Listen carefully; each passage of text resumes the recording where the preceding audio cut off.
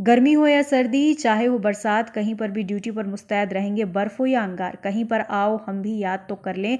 ऐसे देश के दीवानों को वंदन, अभिनंदन कर ले, मातृभूमि रखवालों को आओ, मिलकर नमन करें हम देश के पहरेदारों को। शासकीय बालक उत्तर माध्यमिक विद्यालय पचमढ़ी में सशस्त्र सेना झंडा दिवस पर भारतीय वीरता साहस को नमन करते हुए, भारतीय सेना के जवानों के आतिथ्य में शिक्षा अनुदेशक संदीप लोकेश, अविनाश संजन, हवलदार K C Sethi Nayak, Sarvesh Nayak, Kailash C S A Rajveer आदि के द्वारा सेना के सम्मान स्वरूप वृक्षारोपण किया। इस कार्यक्रम का आयोजन ओजस क्लब और एनसीसी इकाई के छात्रों द्वारा किया। शिक्षकों द्वारा झंडा दिवस के विषय में बच्चों को जानकारी से अवगत कराया। कार्यक्रम में पूर्व प्राचार्य डॉक्टर पी के जैन, प्रभारी प्राचार्य सविता साहू, पल्लवी साहू, साधना जैन, मनीषा परमार, शाहजहां बेगम, रूप नारायण श्रीवास, एनसीसी प्रभारी किशन लाल और ओजस क्लब प्रभारी संतोष यादव, जन शिक्षक संतोष शुक्ला, विद्यालय का समस्त स्टाफ और छात्र उपस्थित रहे। कार्यक्रम के समापन पर संतोष यादव द्वारा समस्त अतिथियों का आभार प्रदर्शन किया।